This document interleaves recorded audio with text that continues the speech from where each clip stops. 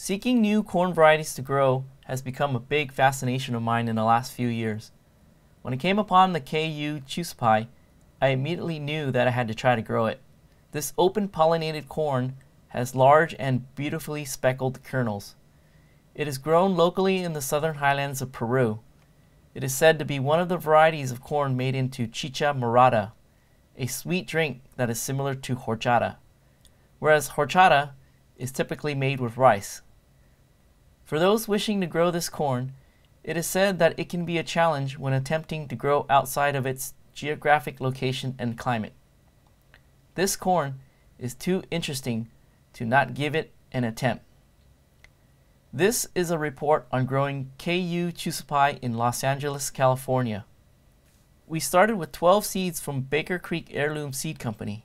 The seed description indicates that the days to maturity range from 165 to 195 days. We are also told that this corn grows in high altitudes, between 2,300 and 3,300 meters above sea level. This bit of information provides a big clue as to what type of temperature conditions they prefer. At high altitudes, it is safe to assume that plants prefer cooler temperatures. With the following inferences and assumptions made, the seeds were direct sown on the first day of autumn, September 22, 2017. In Los Angeles Zone 10B, we are a frost-free location. Autumn seemed to be the most logical time to start. It is warm enough still to both germinate the seeds and foster seedling growth. Autumn will provide the longest period of cool weather before temperatures spike up to an excess of 100 degrees Fahrenheit. From autumn through spring, we will have at least six months of cool weather. Additionally, the day lengths in autumn and winter mimics the corn's natural environment's day length. In the garden, we choose our two primary growing areas and divide the seeds between the two. In the backyard, we designated the raised bed that receives the most amount of sunlight. This is where we had grown some amazing Hawaiian super sweet corn earlier in the year. With the soil refreshed with compost and steer manure, we sowed half of our seeds. Our super primo growing area is in the front yard. East facing, this is where the sun is not obstructed by structures or hillsides. Additionally, the area is sloped and provides great drainage. Here too, the soil is amended with compost and steer manure. Out of 15 seeds, 11 would poke through the soil, 5 in the planter, and 6 out front. For some reason, the corn in the raised planter had the hardest time. Half of those never made it past 8 inches. Two plants looked promising. 2017 had been an odd year weather-wise. In late October, we had a few days with triple-digit temperatures. Attempts at shielding the corn from the heat was made. However, the strongest plants produce tassels at 3 feet. Known to be giants, tasseling at 3 feet was considered a failure.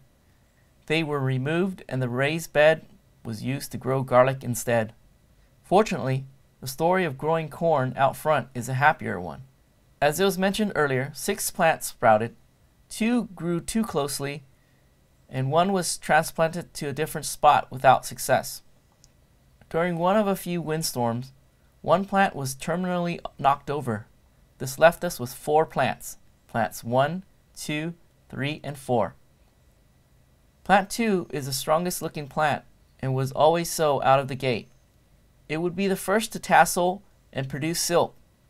The first sign of tasseling was around January 24th, which is 124 days from the start of fall. Many days would go by, and just as hope was starting to be lost, silks began to appear on plant 2 on the 2nd of February. Unfortunately, the pollen it had produced earlier had all but blown away. Fortunately, plant 1 was beginning to tassel. It was a nerve-wracking period of time. Here we have silks ready to be pollinated with no pollen available. Will plant 1 produce pollen in time for the silks? Or will the window close on the silks and on us? Luck on our side, we will see signs of successful pollination. Silks ready for pollination look like dry hair, while pollinated silk look like damp hair. Plant 2 would go on to produce another ear. This time the ear had more silks. This is the ear that would eventually produce our best ear of corn. In the meantime, the other plants would go on to produce tassels and their own ears of corn. Again, timing was a huge issue. Anticipating this issue, the tassels were removed and placed in a paper bag.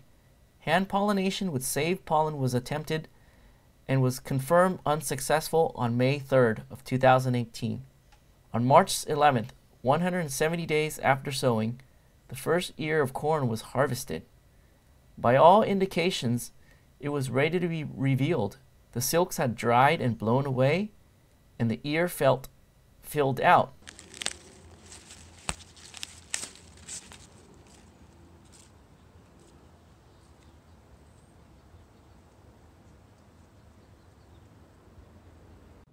I'm very excited to share with you our first ever ear of KUEU Choose Pie corn. I've never heard of the pronunciation, so I hope I have it right. Today we'll look at it together. This has been growing all uh, fall and winter long, and we'll look at it together to see what it looks like on the inside. This was left on the stalk for much longer because we're trying to save the seeds. Um, when, when you eat it fresh, you can harvest it sooner, but if you leave it on the stalk, you, you give it more time for the, the kernels to get more and more plump, which is good for seed saving. So let's look at it. There's a better looking ear on the plant, and we'll look at it together later on. That one's also, whoa, what a huge disappointment right now. Wow, it's all white there's the purple's not coming in, so I guess we harvested it too soon. Okay, I'm glad we didn't go and harvest the other ear. Whoops. All right. I guess next time. With disappointment, hope lies with the second ear still on the stalk. Wanting to be sure of a better reveal, it was left on the plant. As with most seed saving efforts, the surest way is to wait until the plant expired and everything dried up before getting to the seeds. Months go by, and there are no signs of the end for the plants. In fact, some started producing smaller ears on the lower portion of the stalk.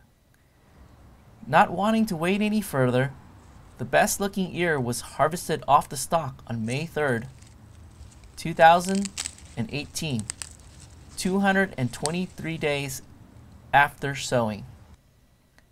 The only disappointment this time was losing the video where the corn was shucked. With this great looking ear of corn, we got what we were hoping for.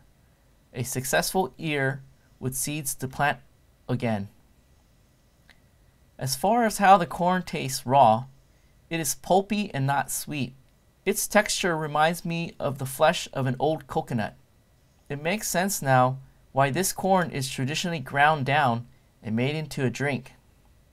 And with that, we conclude our first attempt at growing K'uyu Chuspi corn. This has been our experience with growing it in Southern California in the Los Angeles area, where we grew it in the fall to mimic its natural high altitude, cool weather climate. And it looked like it turned out pretty well.